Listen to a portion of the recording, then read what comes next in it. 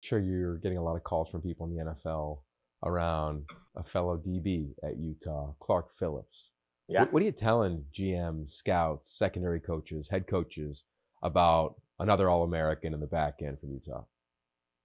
Well, just not not what he brings only on the field, but what he brings to your locker room and uh, his accountability, his work ethic, his uh, you know the camaraderie within the team. Like Clark checks all those boxes, so I think he's going to be a valued commodity. Play inside and out. He's physical, can tackle, obviously can run, got good hips.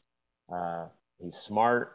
He knows how to study already. Uh, so I think once teams get him in the room and start talking shop with him and get to know who he is as a person, like his value will even will go even higher